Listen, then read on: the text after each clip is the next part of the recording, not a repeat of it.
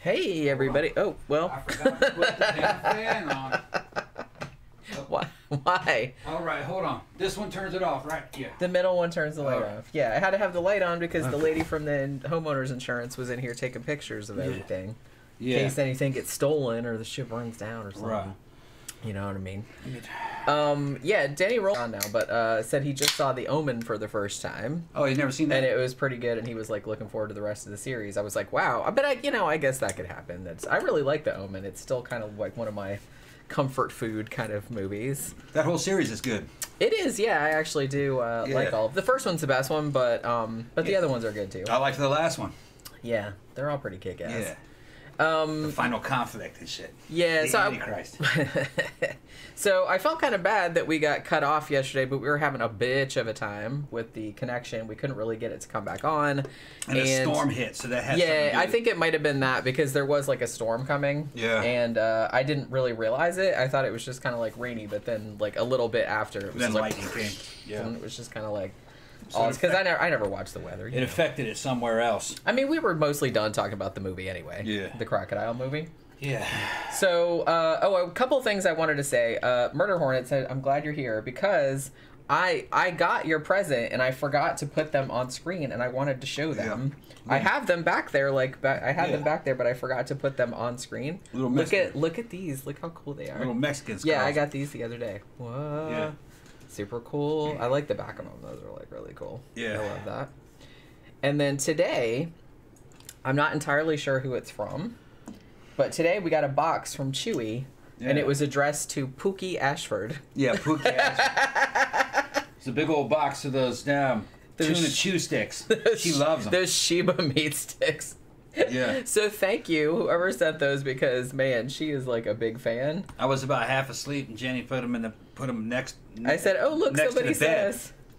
And I went back to sleep. I was kind of dozing back off, and I heard, and and Pookie was fucking digging through that all the piles. She jumped in the box. Like, what the fuck? she she can recognize them. She goes, look. Oh, yeah, a whole yeah. So bounty. give me those. yeah. I put them in a drawer, and she's. Oh, We're trying. They're all Well, gone. we told you we're trying to like ration them. Yeah. Because I got a bunch like the other day, but Yeah. because she doesn't, she likes the other flavors. Like there's chicken and salmon and something and beef. I think she likes those, but they're kind of eh.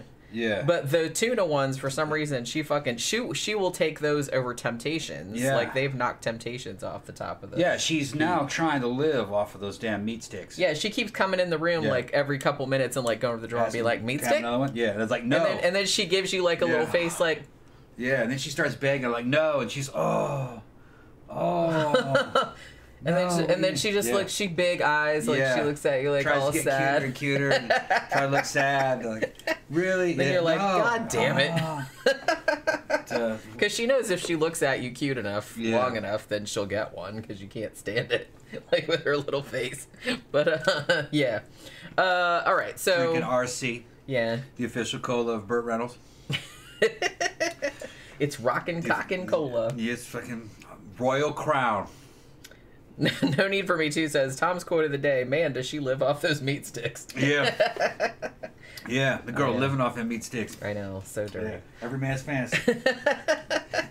Live it Thing is, it's not just one man's meat sticks. It's meat sticks coming from every fucking direction. Yeah, Oh all different God. sizes and flavors of meat stick. All right, so this is a good movie. Last night we saw uh, fucking Burt Reynolds. Uh, not It's not Burt Reynolds, it's Charles Bronson. Those are completely I was different thinking Burt people. Charles Bronson movie was called The Assassination. Well, it's just called assassination. That's what it's called. Assassination. It had like I think initially it was it was going to be called the president's wife, Yeah. uh, and it was called that for a really long time. And they were like, Nah, we don't really want to call it that. Like That was Charles Bronson was like, Yeah, I thought it was disrespectful, and also he's like, That doesn't really sound like a movie that Charles Bronson would be in. Uh, Yeah. So then they changed it to the assassin. Um, Yeah. But then they were like, No, we're gonna change it to just like assassination. Yeah.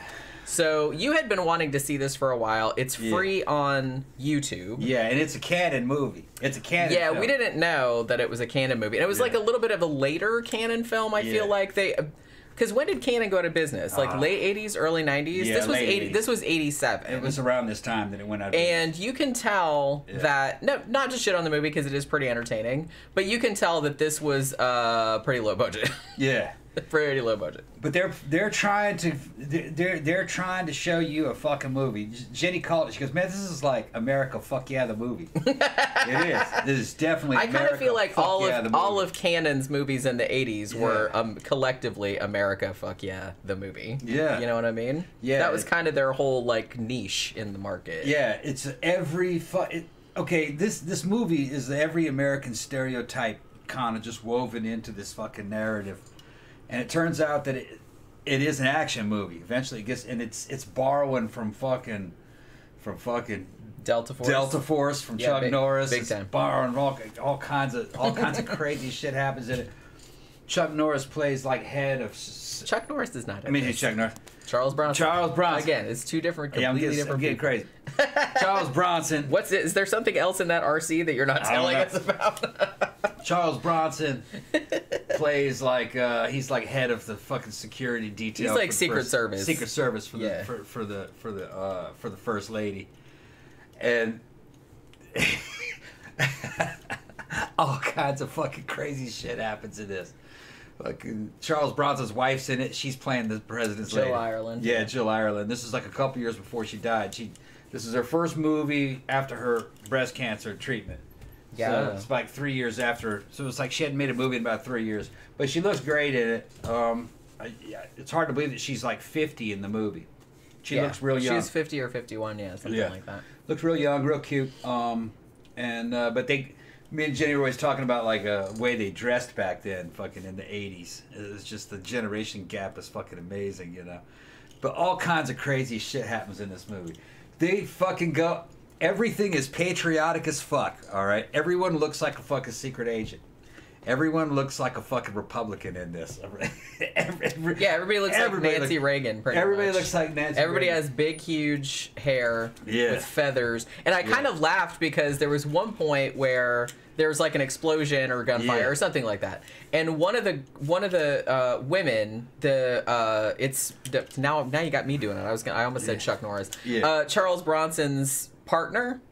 Um, she like dives for the ground and I and I laughed my ass off because her hair like this wings of her hair just went whoo, like in one piece because of all the hair Yeah. and then like the back was back there and I'm like yep it's that's the 80s Yeah. all right it's like this one like two wings of hair moving like that Charles Bronson's sidekick is like this little uh, Vietnamese uh, chick who's coming on to him through the whole fucking movie, and it's kind of unrealistic as fuck. I mean she's like 30 or 40 years younger than him I She- feel like yeah, she's probably in her mid thirties, and uh, in this movie, and I guess Charlie is supposed to be playing a guy in his early fifties, I guess, but he's clearly a guy in his fucking mid to late sixties. You know, he looks okay for his age, you know, but this is not the same Charles. This is not a fifty-year-old or a forty-year-old Charles Bronson. You can you can tell, okay. Um, he still does a great job acting. I mean, he's he's making his money. He's being Charles Bronson. But it's just it's uncomfortable. This fucking Yeah, it's, relationship. it's a little creepy Uh, yeah, and then it's a little creepy She's fucking, she's fucking jocking in, like you know, like she's fantasizing. I guess it's and you're not less- really buying it. it's less creepy because she's more the instigator. He's Yeah, just kind of like, like, nah, nah, we just like nah. work together. Right, I- He never says like you're too young for me, even though she obvious, very obviously is. But Yeah. um, she does like just keep trying to ride that dick. So like Yeah. every time she sees him, she makes like some kind of sexual innuendo. Yeah. well, And then me Jenny were finally, finally, about- he gives in, Yeah. and you know, You know, me and Jenny were talking about it. It wasn't so much his his age; it was the generations. The way he, Yeah, they were yeah. very stuffy. The way that they looked and act acted. Uh, I mean, Mick Jagger at sixty was nothing like, say, you know, Charles Bronson at sixty. Big difference. You know, yeah, that's what I was, and I think, difference. yeah, and I've said this on the show before. It's not David so much. Bowie at sixty was fucking Right. He was, he was, you know, it's not so much the age. yeah. It was, it's just their whole the way the they carry themselves, their whole they dress, persona, yeah. shit like that. just nothing sexy about him. Nothing. About his clothes. Well, because you you said when they were like in the car and she was just she was making really really obvious Yeah. like hey want to have sex want to have sex Yeah. and he's just like would you stop and um she well he didn't do that he kind of like deflected her Yeah. kind of like funny funny but uh you know finally like he hits it and Tom's like oh he's having that Asian experience and I was like yeah and she's having that grandpa Yeah, yeah, yeah. Asian experience. It, it, it, it brought me it brought me to uh, that dynamic right there was, was, bringing me some Seagal, uh, some Seagalism. You know what I mean? a bit That was bringing me some. And I kinda But it's worth like- seeing, man. You got to see it. I mean, I don't think, and I'll get into this in a minute because this is like kind of weird to me. I Yeah. don't think that that was necessarily like Charles Bronson's idea to No. put her in the movie. I think they wanted to put her in the movie because Jill Ireland, who was playing uh, the first lady, who was ostensibly like, um, you know, Charles Bronson's actual like other love interest. I kind of feel like maybe the producers thought, well, maybe Jill Ireland is too old, so we need to put like a younger, hotter woman in the movie. I'm just saying that that's how Hollywood producers would have seen it. Uh, because Jill Ireland, she was 50 or 51 in this. Like I said, this was her first movie that she had made uh, since she'd gone through breast cancer treatment. And, you know, she looks great and she looks beautiful, but by 80s standards, they would have thought, well, she's like too old. Yeah. So they would have had some, uh, they would have needed another woman in there that was much younger for like eye candy. Well, they knew that the audience probably the average age is probably about twenty. That's what I'm saying. That they're they're saying, well, it's probably younger guys watching Yeah. this, so we have to put like a young hot woman Yeah, in 22, it. 23, but a lot of guys, a lot of guys on VHS that were watching were teenagers. Because there weren't really any other No. women in the movie other than those No. two. No. And uh, man, there's some fucking wild shit. One of the boats that they're on is called the Spread Eagle, and I- it's I got laughed fucking and laughed. patriotic shit on it. It's uh, it's just. I was like, that sounds like a porn boat. Yeah, this movie, this movie seems to have been written by foreigners who are kind of imagining an America. You know, this is like a foreigner's interpretation of what America. I'm not sure who wrote this, but you know, it seems like. you know who directed it? The guy who directed it was uh, a guy named Peter Hunt, and he actually did a fuck ton of movies and uh, he wasn't a director on a lot of them but he was an editor and second unit director he did a fuck ton of tv he directed um, on her majesty's secret service Okay, yeah, that's pretty uh, he directed gulliver's travels right. he was actually like an editor and or second unit director on most of the bond films Okay. like the older ones yeah. so yeah, So they got a good dude. They got i mean, this dude. is might have been one of the Yeah. one of the last, if not the last, film that he did. Okay, yeah, the movie's actually competently done. It looks Yeah. pretty good. Um, it's it's low budget, but they kind of did everything they could to get cool helicopters and guns and uh, motorcycles in it. There's some motorcycle chase scenes, a lot of fucking Charles Bronson shooting fucking AT-4 and law rockets at dudes on motorcycles. Uh, assassins showing up with fucking rare uh, uh, rare machine guns. Like there's a uh, I think Richard. No, it's not Richard. I don't remember the name of the the company, but there was a little boutique shop that made something called the M16K, which was a 10 inch fucking collapsible stock fucking M16 had adjustable gas ports on it. And back in the back in the late 80s, that gun was hot as fuck. They didn't make very many of them. It was just a little commando carbine with one of the assassins shows up with that that was a trip little little short triangular round handguards i think and no front sight front sight was in the carrying handle weird it's just uh i don't know why they did that it's just something that you could it was made in california but they had a lot of neat guns hk pistols uh, or, or yeah, it was an HK. I think it was the VP9. I think is what that thing was called. Or no, that's the new one. Uh, just you can look up. There's a database that shows like guns of whatever movie you want. You can just Google it, and it, it came up, and I looked at all the guns that were in there, rockets and rocket launchers and shit. Yeah, there's, So a lot, the- there's a lot of rocket launchers. yeah, a lot of rocket launchers. Uh, Not Yeah. I'm complaining. a lot of Mac 10s. Uh, there's one scene where Charles Bronson jumps on a fucking dirt bike and is chasing another guy across the field, and he shoots him with a Mac 10, and I think the Mac 10 was mounted to the handlebars of the motorcycle, wasn't it? It looked like It looked it. like it was. I mean, because it looked like he was. Yeah. I mean, this was crazy. Like- there was also one where he was in a speedboat and the bad guy was on a jet ski, Yeah. and they were shooting at each other, like from the. And I was just Yeah. like, obviously, no one was hitting jack Right. shit because Yeah. how could you? Right. But you know what I mean. So uh, we didn't even talk about the plot of this movie. So the plot of this movie. Yeah. Jill Ireland plays the first lady. Now, uh, it's it's a new administration that's coming, right? A new presidential administration. Okay. Yeah. Now, uh, Charles Bronson plays a guy named Jay Killian, or Killy, as he's known by gonna get another by his sidekick. And uh, so I guess that under the previous administration, he was like high up, like on pr- presidential protection duty, but for whatever reason, he gets what he feels is a demotion because he's like now now that the new administration has come in, now you're gonna be assigned to the first lady or one mama, uh, to her security detail. Now, just like in a lot of these movies, particularly in the '80s, uh, they really do not hit it off. Uh, Jill Ireland as the first lady, uh, her name's Laura, right? Yeah, like Yeah. Laura May, like Laramie, yeah. Um, because there, there's a whole thing about that. Uh, she is like a deeply unpleasant woman who does not think that she needs a security detail. She just wants to do whatever the fuck she wants to do. Uh, she really does not like Charles Bronson, so you know they're gonna kind of fall in love later on. Um, and she's kind of like everybody talks about her like she's this ball breaking uh, bitch and a half. You know what I mean? What did they did? That one guy calls her an ERA nut at some point. Is he talking about her? No, he was talking about an, Uh, or he was talking about another- He didn't call her an ERA nut. He called her a, uh, a, a, women's rights nut. She goes, "One of them women's rights nuts." She kept patting me on the ass. I was fucking. I was started laughing. Deal with it, bitch. His I just, thought that was like- very- was I just just thought it was very funny. cultural artifact of the times, where a guy was thinking that well, she's a women's rights advocate. She is the sexual aggressor. You know, she's the sexist pig. She Yeah. keeps fucking grabbing my ass. That was the interpretation of the time. I just laughed. There's a lot of funny shit in this movie. it man. was very funny. A lot of funny shit in this movie. It was very funny. And I don't think that was intended. It was just. It might not have been. I It's- don't- yeah, yeah. There was a lot of shit in the movie that was just funny. I think unintentionally, just aged so weird. Yeah. just fucking hilarious. So yeah, so she's a very very unpleasant person, and she keeps trying to like uh, give everybody the slip because, like I said, she just wants to do what the fuck she wants to do, and she's like, I don't like this first lady shit where everybody's like watching me all the time, which I you know I can't blame her. So uh, yeah, so she does this one thing where she goes to they go to some big like to do.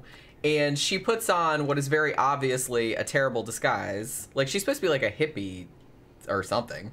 But she comes out with this like ridiculous wig, like a fringed leather jacket, Yeah. and she has like a little radio, and she's like dancing all weirdly, Yeah. which you would think would like draw even more attention. She's supposed to be kind of like an early heavy metal chick who listened to, say, like you know, Bon Jovi.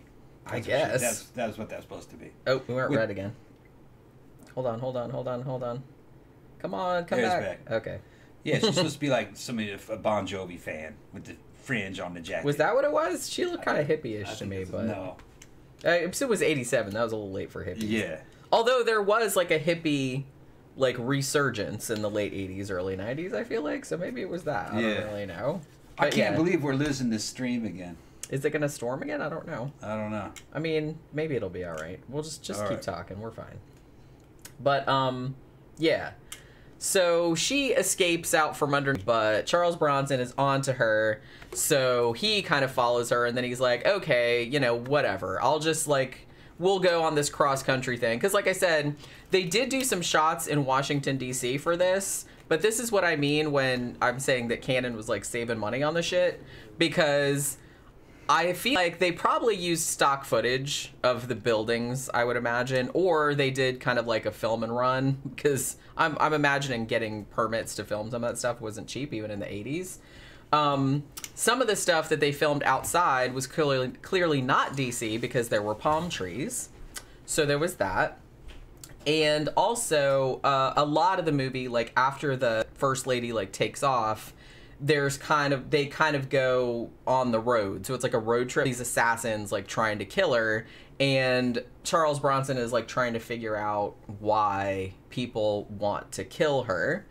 Um, and for a while they do kind of like a red herring thing where maybe the assassins are trying to kill him although they never really go too much into that i don't think. Uh, they maybe they did and i didn't catch it. Get a poke Okay, maybe. It it's says it's back up. reconnected. Yeah, okay. All Well, right. I'm just waiting for it to go green and waiting for the kilobytes per second to go back up. Okay. Um, so yeah, so they're trying to set up like this burgeoning romance between the two of them. Like I said, who were married in real life at the time, or were actually married until she died three years after this came out. And the weird thing about it though is that they make it kind of like okay by essentially saying, yeah, me and the president, like we have an understanding Yeah. she's like, I just married him because I liked him. He was my friend, and he needed a wife, like when he was running for office, because nobody trusts the bachelor, blah, blah, blah. But essentially, they don't say this outright, but I think this is what they mean. Essentially, uh, he got his dick shot off in the war, right? Yeah. Or he, The or he, crash. he was in a plane crash and Yeah. it made him quote unquote impotent. So I was like, so he lost his dick in the war. That's what you're saying. So, um, so the fact that They, she, yeah, they said. They, I think they just said that because he said he read the files, so he must. Yeah. I think it was gone. That's what. Well, I mean, Yeah. that's what I took from it. They didn't Yeah. say that, Right. but I thought I kind of read between the lines Yeah. on that. I was like, yeah, he lost his dick in the war. Impotent shit. They could fix that. That's what I was saying. Yeah. That's what Even I meant. back then. I said it had to be something a little bit more than that. put So it down. He's like smooth like a Ken doll down Yeah. there. they just put a damn balloon in that shit. Dude pumping it up on his nut. I mean, we shouldn't laugh, but Yeah. because some people do have that, I have that problem. But I just thought it was funny that they wanted to like make this romance between them okay by saying, well, you know, I don't have sex with him even though we're married, and I just married him for convenience, like for political reasons. And you know, after he, you know, won, like now we're thinking about like going our way own way because I don't she's like because i don't really like being under the scrutiny all the time i like to just like live my own life but then the weird thing about it is that they set all of that up but then charles bronson ends up with the young Yeah. i mean they don't like they leave it a little bit ambiguous because she says uh, what the fuck was her name what was her I don't know. i can't remember what her character's name was The characters are just. They're. She wanna- wasn't that that actress Yeah. wasn't in a lot of movies she's, She's actually she's a dancer Yeah. Um, she was in a chorus line and she was in some other stuff. That's she was more a dancer than an actor. She was only Yeah. in like three movies, uh, including this one. And so I thought that was really weird. And I was like, how weird would it be, like, because uh, Charles Bronson and Jill Ireland were in. It's Yeah. just gonna keep doing this apparently. I just I just didn't want you to. Yeah. Okay, I think it's back on. All right, it should be good. It's good. Yeah, it was. It, look, it's a Cannon movie. They were kind of made for kids. Uh, you weren't supposed to think about it. You the, you just watch a thing to see some people shoot each other and fucking some motorcycles and uh, to see some shit blow up, and they're trolling you through the whole fucking movie. Name of the butt was Spread Eagle. I mean, All yeah. kinds of shit. They all kinds of shit happened. I was like, they were trolling. I was like, what? It, What? But it was good. You know, it was. What? I don't even remember all the fucking trolls that they came came at. Came. I don't either, but actually, like, really coming it was fast. kind of funny. I did Yeah. think it was kind of funny. Yeah.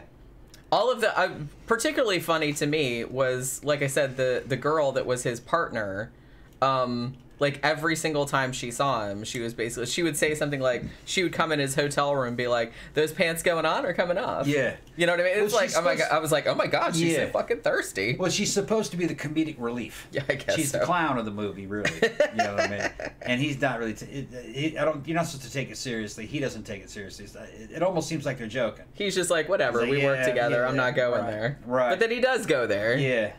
And then he says stuff like, it did, supposed to be a didn't he say? ending. Didn't he say at some point too that she was like, um, you know, oh, she asked why don't you move in here with me, and he says I might die from terminal orgasm. Yeah. He did. Like that. Yeah. Charles Bronson. Yeah. I mean, I'm pretty sure it was almost exactly yeah. that. Yeah, I think that's what he said. Yeah, terminal orgasm. There at this stupid. It's back. I don't know what the fuck is up with this shit. I don't either. It's like you know. yeah. it reconnected and it's weak. Yeah, it's like I guess okay. Yeah. Well, the weather's shitty, and it's just Yeah. like I kind of hope that it. There's some data going on. I guess. Yeah. I mean, I hope that it straightens itself out before to show. Yeah, we'll, we'll have to see. You know. Okay, it's green again now.